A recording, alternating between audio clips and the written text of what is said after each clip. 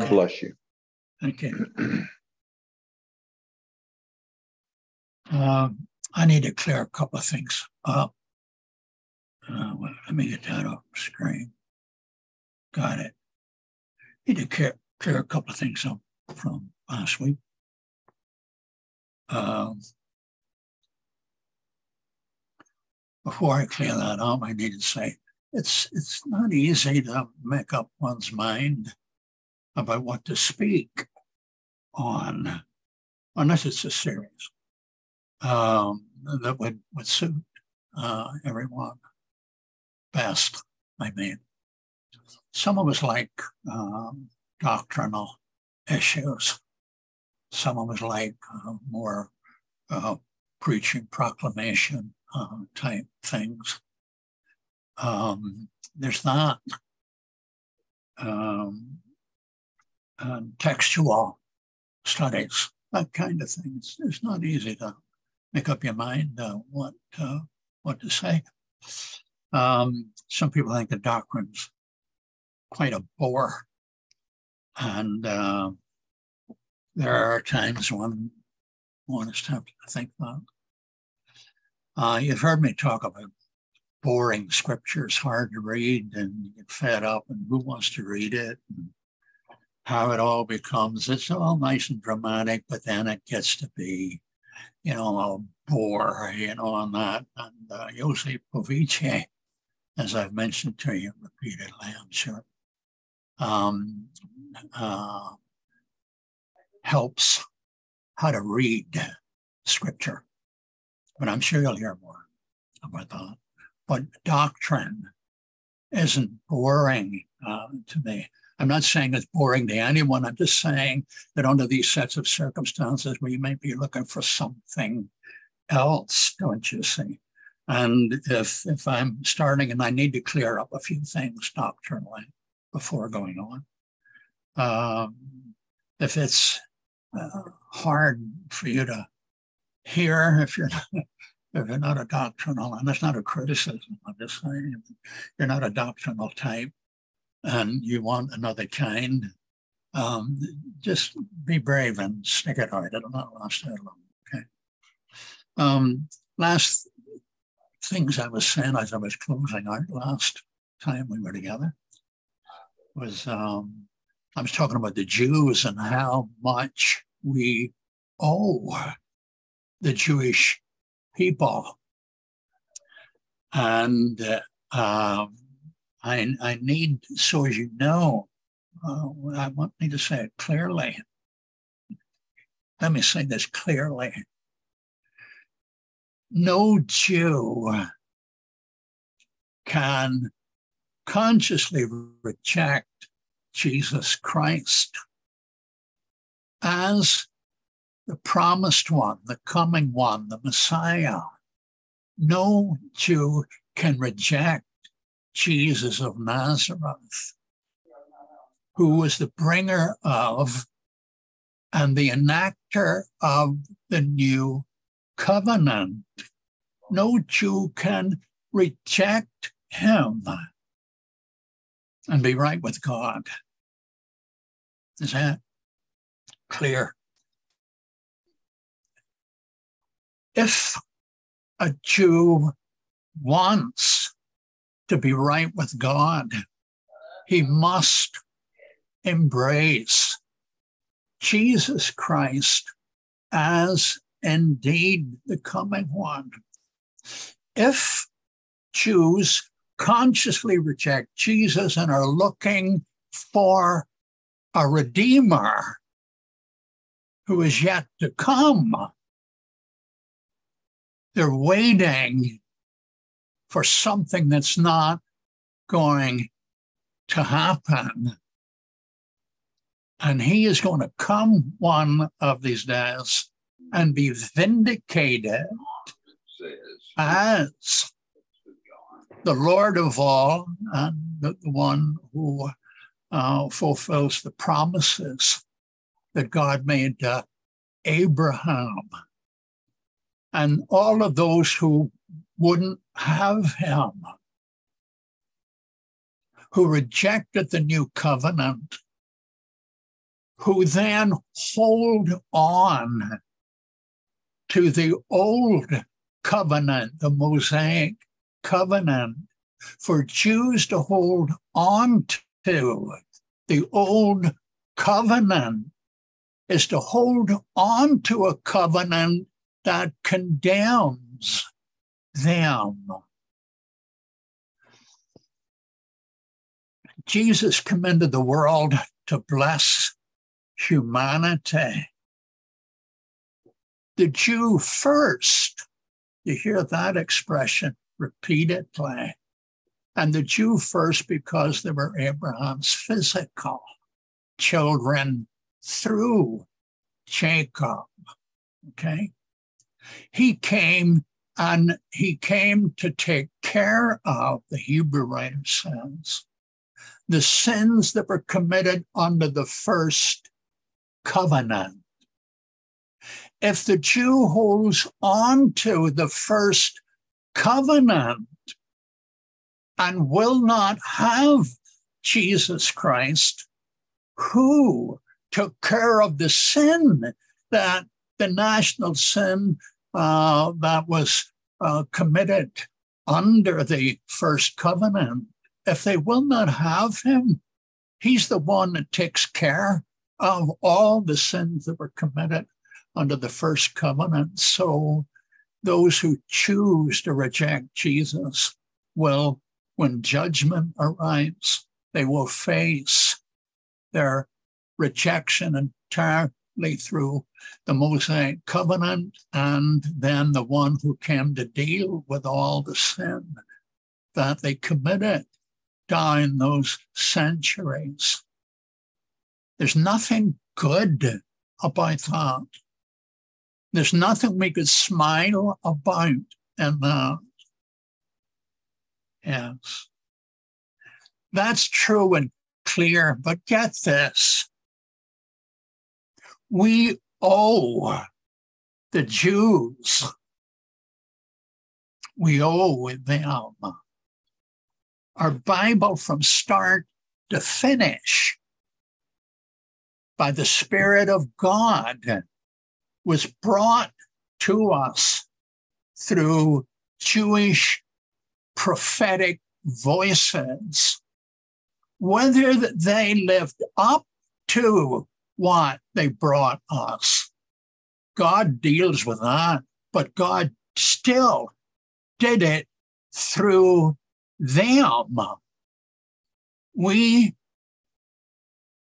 read a Jewish Bible inspired by the Spirit of God. And Paul will say this, and then I'm going to read some text from Romans. I need to do this. I need to do this. To be anti Semitic because they've been wicked and rejected Christ. All we're doing is adding on to them things that they don't need. They've got enough coming. But if the Spirit of God by Paul and Peter and Hebrew writer and all the rest of it makes it clear that we owe these people as the instruments of God to bring Jesus Christ to us, we need to acknowledge it unashamedly and thankfully. You can't say the name Jesus without speaking Jewish. Huh. Listen to this from Paul in the book of Romans in chapter 15 and verse 27.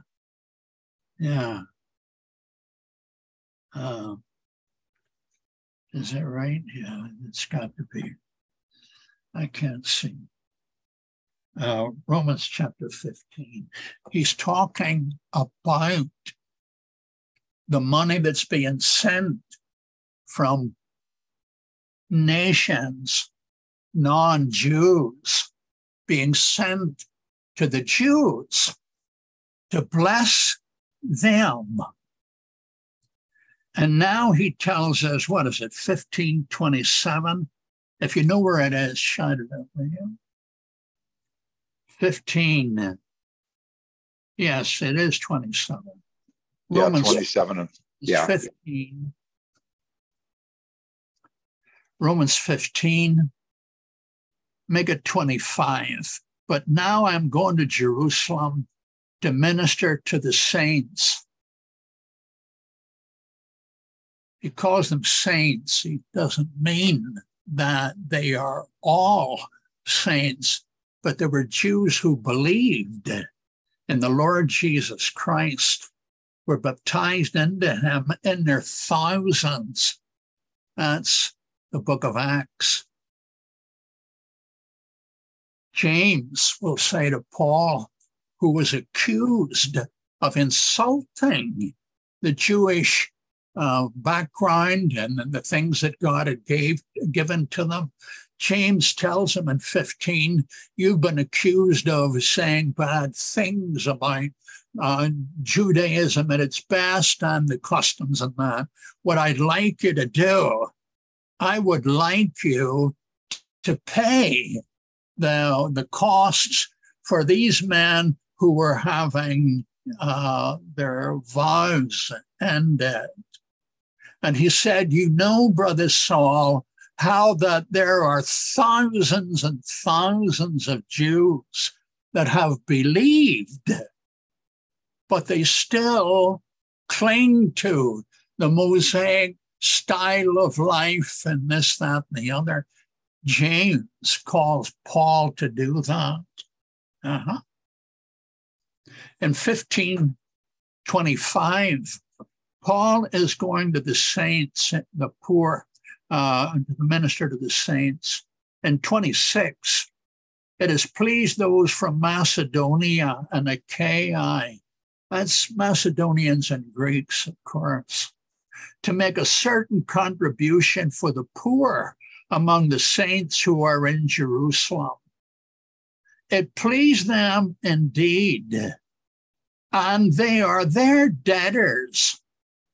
For if the Gentiles have been made partakers of their spiritual things, their Jude is also to minister to them in material things.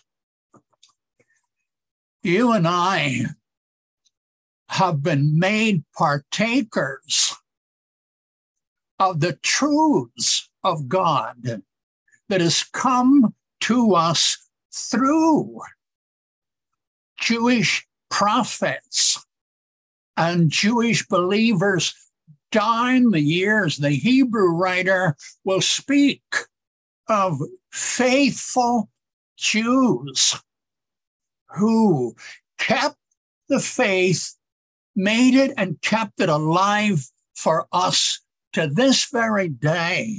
Some of them women who would not give up their faith because they look for a better resurrection.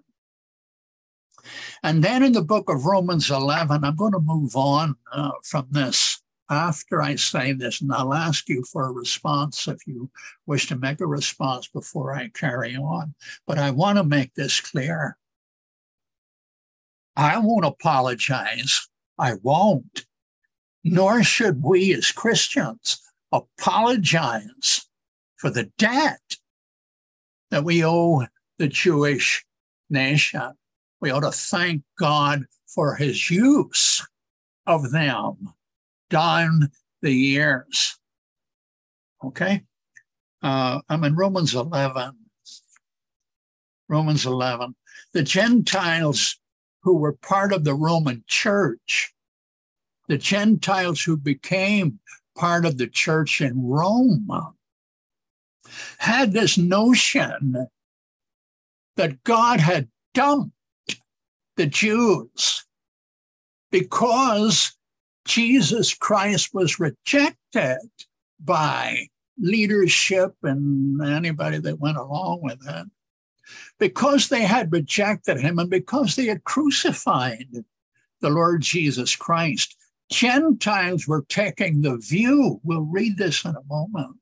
Gentiles in Rome were taking the view that God was done with choose. That's the end of them.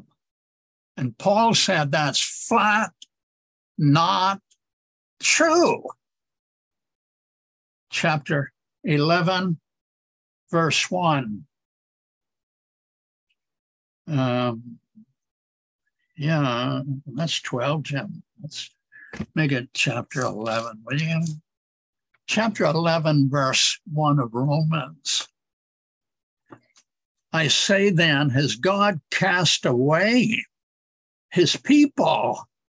That is, has he utterly abandoned them? Has he done with his people, the Jews?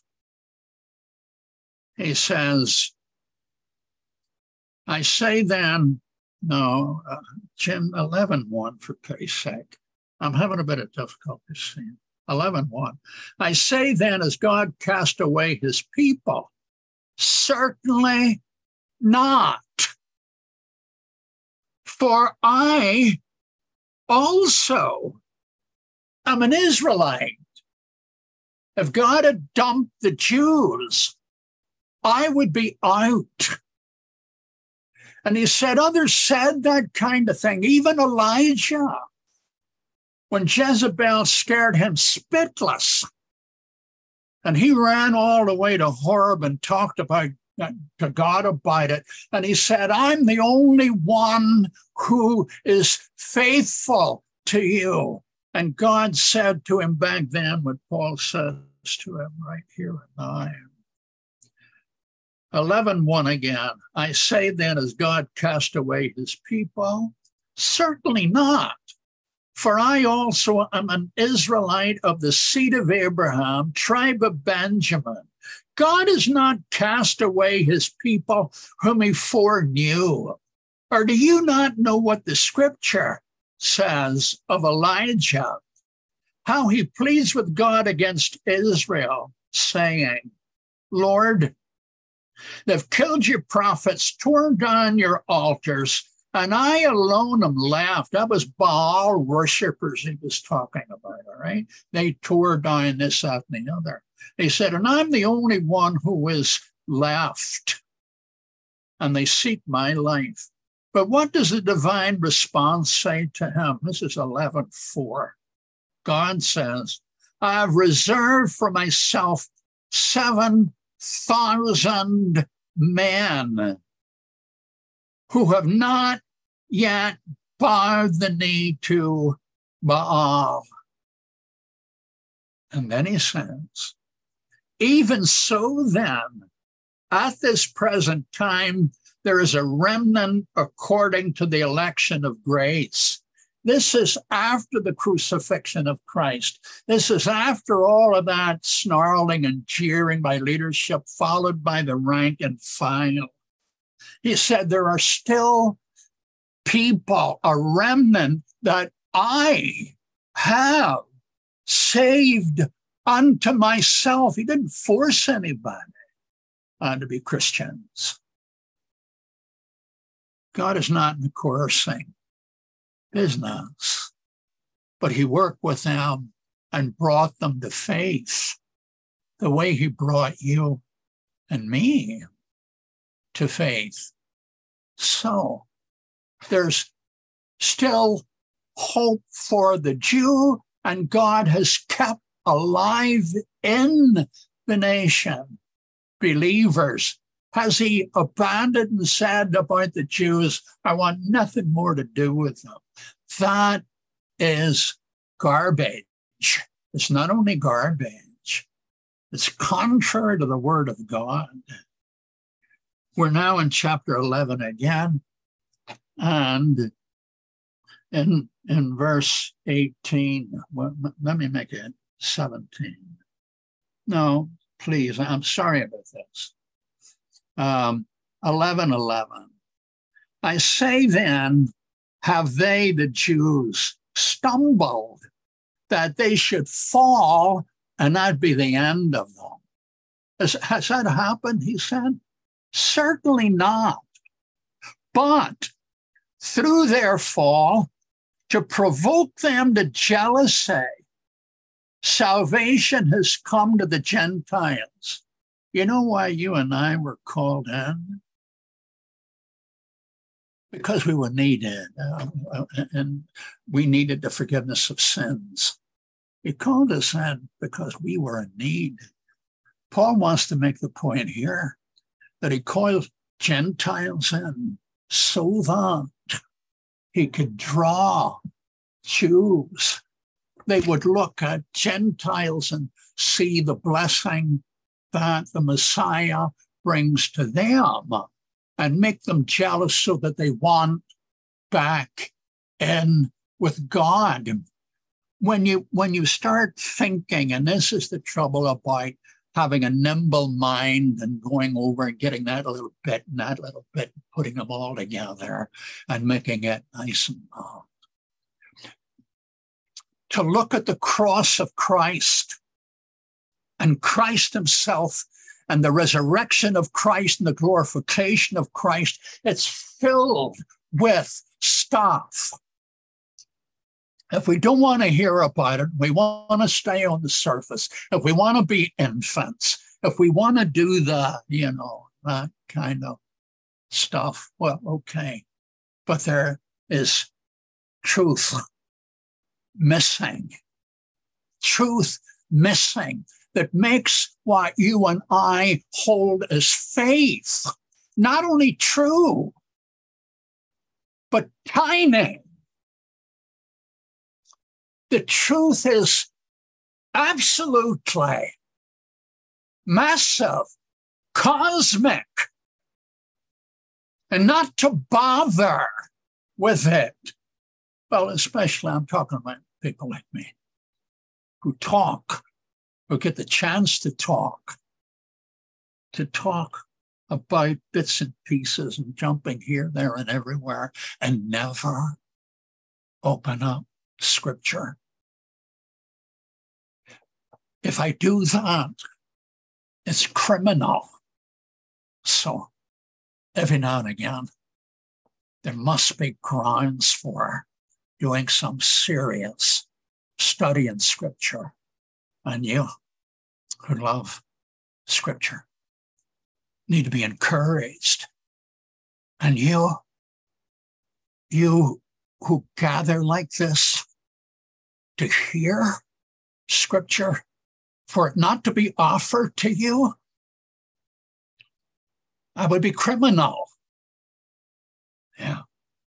Well, yeah, but people don't like doctrine keep up the kind of preaching we do, and they'll never, will never like it. We'll never know whether they like it or not, because they never get to hear it. Hmm? That's what uh, Dorothy Sayers said back when she was writing those detective stories. There's a biography of, of her. It's called A Careless Rage for life. This was a wild woman that wanted to live. And she was absolutely wild about Jesus Christ. And she would hear and she wanted to get into it. She said, Let me tell you the God that is. He came into the world and what he put let humans go through, he manned up and went through it himself. And she said, I, I'm sick and tired of hearing people saying, uh, well, teachers, I mean, preachers, people don't like doctrine. She said, How would we ever know? You never teach any. You never preach. And this is a woman who rages about it. God bless her. I don't know if she ended up with Christ or not. All I know, I just want to believe that she did because I know what she did when she wrote things like a man, a, a, a stage play, a man born to be king. These women and men who opened up the biblical witness for us and gave their lives so that we can read our English Bible. If they didn't do it, I couldn't even read my Bible. I've no Hebrew, Greek, Aramaic, or anything else. I just know that spending time in here, especially if I'm a talker, but then beyond that, even preachers need to go to church. Even preachers need to hear about God. Even preachers need to get in and, and be stunned by him. Hear these Jews.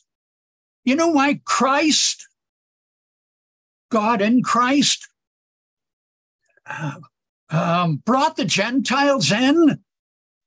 He says, to make Jews jealous. You believe that? It's the word of the Lord. And then he goes on to say, and we're still in chapter 11. I said I was going to finish this and then move on. I don't know if I'm going to get around to moving on. I'm, I'm taking longer than I thought. In 11, 11, they stumbled, what? That they should fall? Certainly not. Well, they fell, of course, like everybody did. His point is, it was at the end of them? Was that the Jews dumped? No, he says, certainly not. But through their fall, the rejection of Jesus Christ the man, but through their fall, um, to provoke them to jealousy, salvation has come to the Jews. Now, if their fall is riches for the world. Whew. You know how come you are rich in the gospel? I mean, leaving the obvious aside, because the Jews stumbled, choose, chose to stumble. They rejected Christ and they crucified the one who needed, came to die, came to die and they acted out of their own wickedness, but they fulfilled the will of God in the crucifixion of Jesus Christ, which led to his resurrection. His death was for atonement, his resurrection was for salvation. And the Jews, in their wickedness, they did that and were used of God. Hmm. Yeah. How do you like that? Spooky almost. But there's nothing strange about that, don't you say? A young man ended up 13 years in prison. 13 years. This is his mommy and his daddy. Wishes he was home. Instead, some woman put the move on him and he ended up getting thrown in prison. Okay? And then when he met up with the guys that did it to him, he said to them, you didn't bring me here. But that's exactly what they did do. He said it wasn't you at all. It was God. The will and the wish and the purpose of God preceded what these thugs did to the young man. Okay? It was God that did it. So here's a fellow, he's got a spike and he's driving it into Christ's hands. And by and by, someone takes a spear and kills. Here's the story of the biblical witness in the very act, not after it in the very act of him slaying Jesus. He was murdering while in his very, very act, God was sacrificing. While they were stealing life, God was offering and giving life, not after the killing, during the killing, and then the after, the whole thing. But here's a question, and I'm not developing it, and you'll think about it, and I'm half afraid to ask him, but it's on my mind. Did God murder Jesus? Did God murder Jesus? I don't want you to say anything right now. It's not this good night, okay? I want to finish this in chapter 11. 11 11. I speak to you Gentiles. 11 13. For I speak to you Gentiles, inasmuch as I am an apostle to the Gentiles. I magnify my ministry I'm serving you Gentiles peculiarly, not exclusively, but peculiarly. I serve you. And so, because that's true, and because I've got the blood marks and the brand marks and all of that, uh, telling people that I'm serving you, the Gentiles. If I were serving Jews, they wouldn't be beating me up this way. I'm serving you Gentiles. And stop arguing with me. You can whip off his shirt. See all these brand marks? That's because I'm serving you. And because I'm serving you, listen, he says. 14. If by any means I may provoke to jealousy those who are my flesh and save some of them, I want to save some of them uh, proclaim who are my flesh. Now 15. For of their being cast away is the reconciling of the world. What will be their acceptance but our but life from the dead? They're being cast away. They're, they're, the nation has died in their sin. He said, if them being cast away is their death, what's a resurrection going to look like when they turn to God and Christ? Hey, you think that death deal was stunning? Watch what happens. And thousands, thousands turn to him. And there are Jews, there are uh, there, there's some bad uh, Jews for Jesus movements, but there are Jews for Jesus movements and there they are preaching the gospel. Some some of them are not doing well, but I, I still need to read this, okay? And, and and you need to hear me read it so as you know that what I telling you about God not having given up on the Jew and that, that you know it's biblical. It's not just an opinion. And we ought to be grateful that he won't give up on Abraham's children. He will not give up on Abraham's children. He will continue to offer and continues to offer and wants the Jews to turn to him. But they've done what all the nations of the world have done. They've gone after the flesh. They want to establish the kingdom with war and bombs and destroyers and this, that, and the other, as Gentiles do. And as Christians, support that. Christians are doing the same thing. The church is folding. The New Testament church is folding onto the same thing that the Jews did.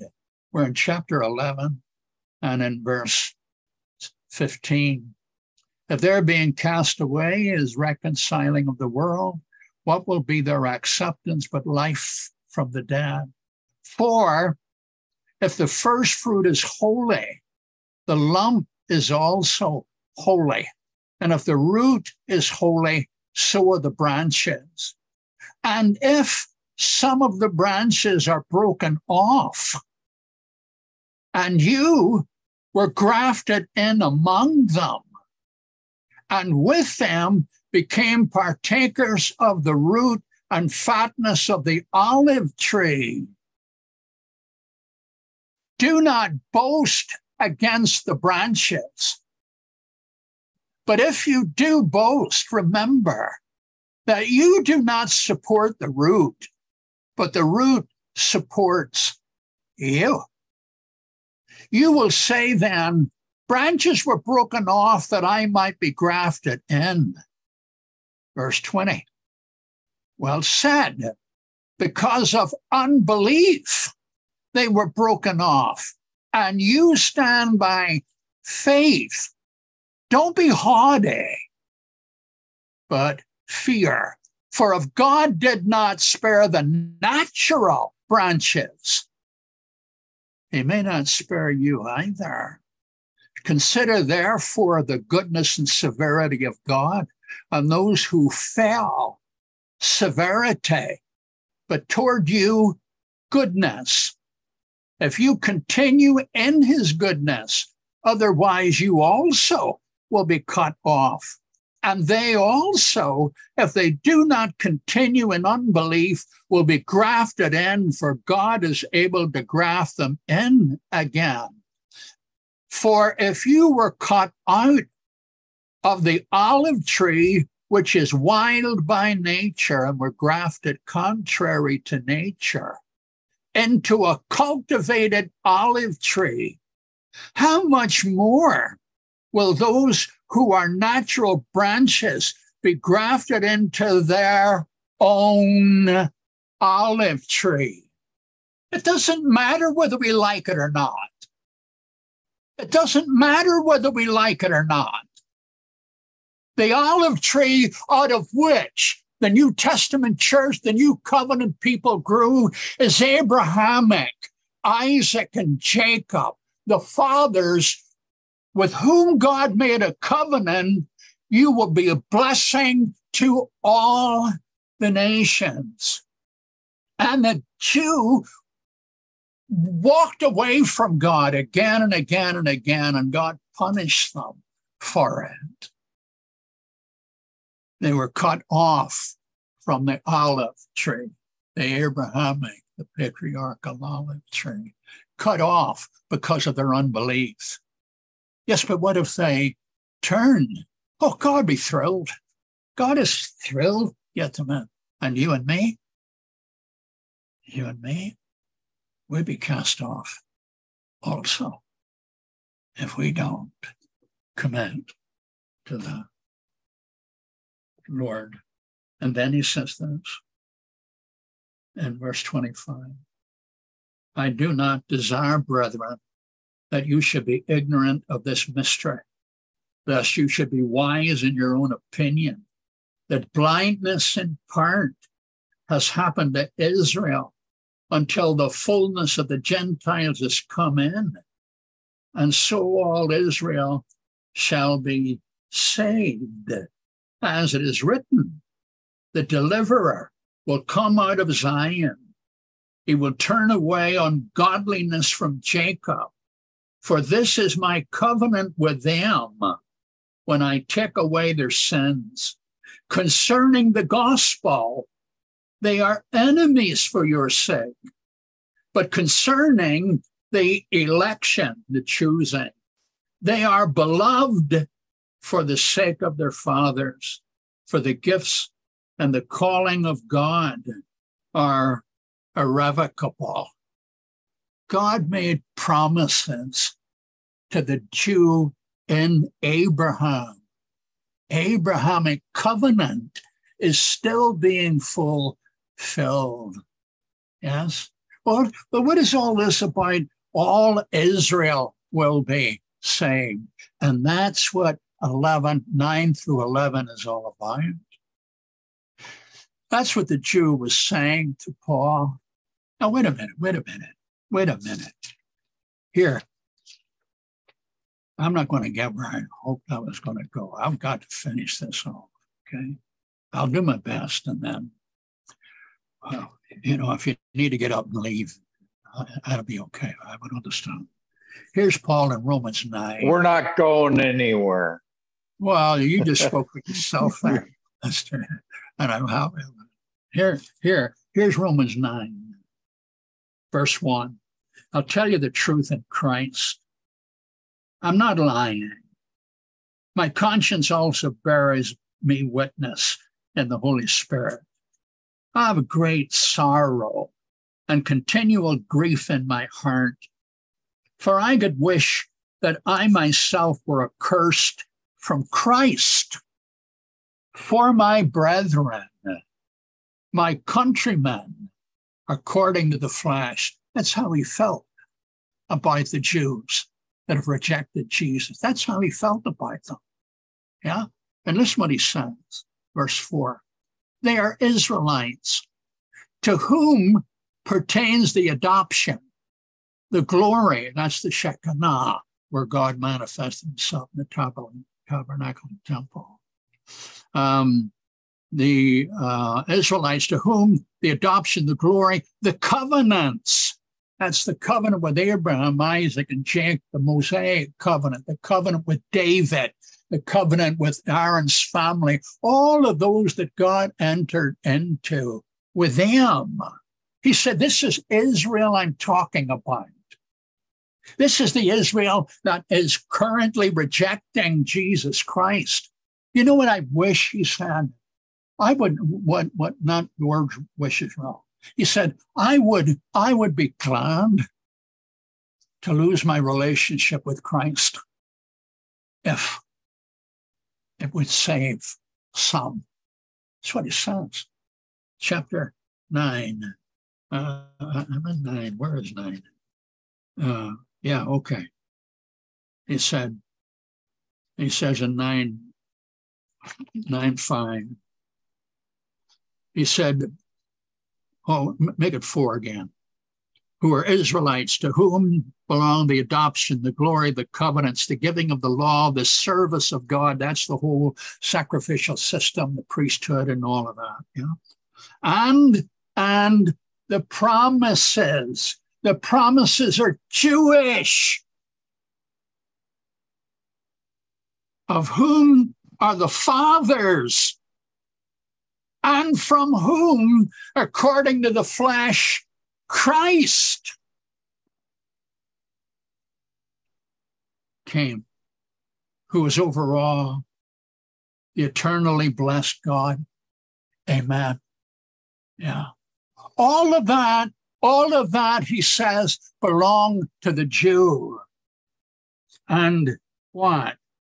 Um, and and uh, did, did I did I read that where he said he'd be glad to lose his life with Christ to save some?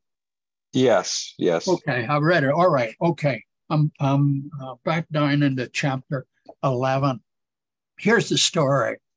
God would see to it. No Israelite will be lost. All Israel will be saved. That's what the text says that got at the Jew, and he had a good argument. Wait a minute, wait a minute. If all are going to be saved, then there's nobody has been lost so far. And there'll nobody be lost. And Paul will make it clear in chapter 9, verse 6. That's not true. That's not true. You don't understand who Israel is.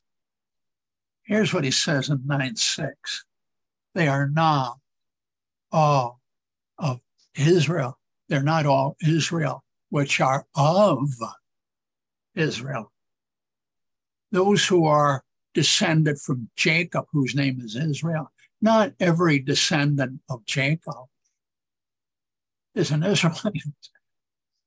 They are not all Israel that are of the physical Israel. Neither because are they Abraham's seed, are they all children, is 9 6 of following. Look, look. No Jew who had ever the faith of Abraham was ever lost. It's like saying no Christian whoever maintained faith in Jesus Christ was lost. It's not possible. Those who have the faith of Abraham are saved. Not everyone who descended from Jacob was a Jew. Bad, bad, the Jew says, but that's that's a talking your way around it. This is all in chapter nine, and I can't see it, so I'm not going to read it. I'm going to tell you what's there, and you'll read it when you get good in time.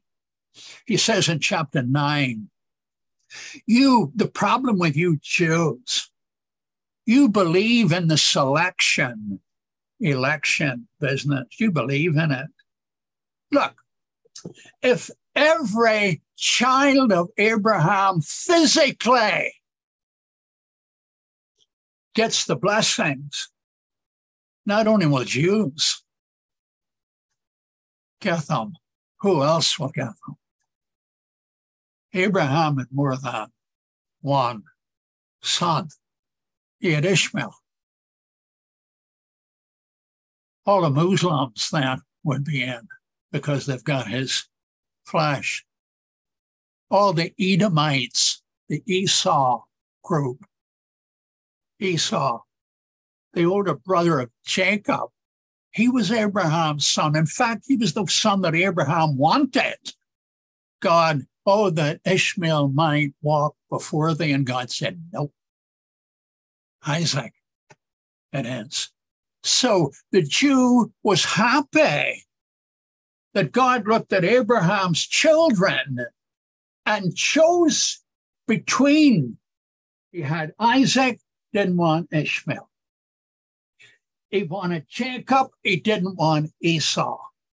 He said, You people, you Jewish people who have rejected the Lord, you believe in election. It's all the way through the Old Testament. But when it gets down to God choosing between Jew and Jew, you want to drop it. He said, You can't do that. For the same God who chose between Isaac and Ishmael, between Jacob and Esau, chooses between Jew and Jew. They're not all Israel that are Israel after the flesh. And Jesus said that in John chapter 8. He said, I know you're Abraham's children. According to the flesh, you are. He said, but in truth, if you were Abraham's children, you would do the things Abraham did. You would believe. But no, you're wanting to kill me. This Abraham wouldn't have done. So 9 through 11, what is 9 through 11 about? It's about this that God loves the human family. And he loves the Jews. And he loves the Jews now as much as he loves Gentiles. He loves the Jews as much as he loves the Irish, the American, the German, the Russian, the whoever. But a real Jew is one with Abraham's faith. The others are not really Abraham's children, except according to the flesh. And listen to this. The last thing, uh, I don't know. Well, bless me, it's nearly time. Here, here, here's something to listen uh, to think about the Hebrew writer says that God made a covenant under Moses. He mediated it with the Jews, the physical descendants of Abraham through Jacob, not the physical Abraham children through Ishmael, not to the Edomites. No, God made a covenant with Abraham's children through Jacob. He didn't make a covenant with the Edomites. Obadiah opens up saying this Jacob have I loved, Edom have I hated which is medicine text, not as harsh as it sounds, but I'm not interested in looking there right now. I'm wanting to say that God made a covenant with Abraham and his children, Abraham, Isaac, and Jacob, the descendants of Abraham and Isaac through Jacob were the people that God made the first covenant with. Hebrew writer says, God made a covenant with them. He said, I'm going to make a new one. This is Jeremiah 31, 31 and following, where God speaks to wicked Israelites. They're in captivity, the bulk of them, the rest are going.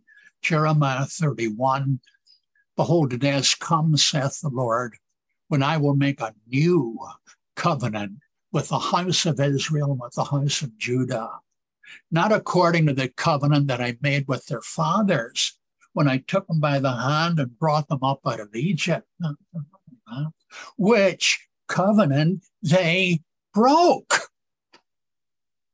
Now, he said, I'm going to make a new covenant with the house of Israel and with the house of Jacob.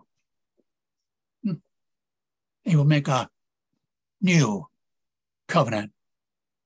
Now, when he says, he goes on to say in Jeremiah and in Hebrews, now when he says a new covenant, makes the first one old. What's old is getting ready to move out. And then he moves out the old covenant and he brings in the new covenant. But who? Here's the question. See, I think I think some of this is irritating some of you. Maybe maybe it's not. I'm hoping everybody. Oh, it's uh, you know, uh, not not the, the truth of me, not probably the truth of it. Believe it. Don't be afraid of anything the Bible says. Don't be afraid of it. He said, "I will make a new covenant with the house of Israel and the house of Judah." That new covenant is called in the book of Hebrews it's called the New Covenant, and it's called the Second Covenant. He takes away the first that he might establish the second. Here's the question Did God make a new covenant with non Jews? Did God make a new covenant with non Jews? Did he make a second covenant with non Jews. He did not make a new or a second covenant with us. He made a new and second covenant with Israel, who has Abraham's faith and believes in Jesus Christ. And what happens? We are invited then into their new covenant. We owe the Jew. And he says what we read in 11. He said, You belong to a wild olive tree. And you know what happened to you? You were cut down and you were grafted into a cultivated olive tree that has the root Abrahamic, Isaac, Jacob, covenant of promise, belong to the Jews. God, what's it all about? He's telling the whole Jewish world. He's telling the whole Jewish world back then and today. I want you. I want you. I want to bless you. I made a new covenant in him. See, look at him, that young carpenter fella. I made a new covenant with him. I established one and I offer it to you. You don't lose when you come to me in him when you, if you were to come to him and me and him, you would be getting your own blessings that I have purposed for you. And I've never changed my mind about wanting the Savior.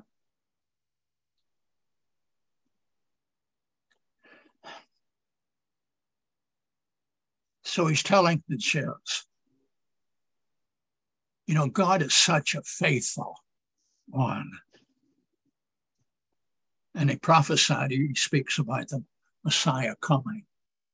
But you notice the passage we read said, a deliverer will come out of Israel, not out of Gentiles.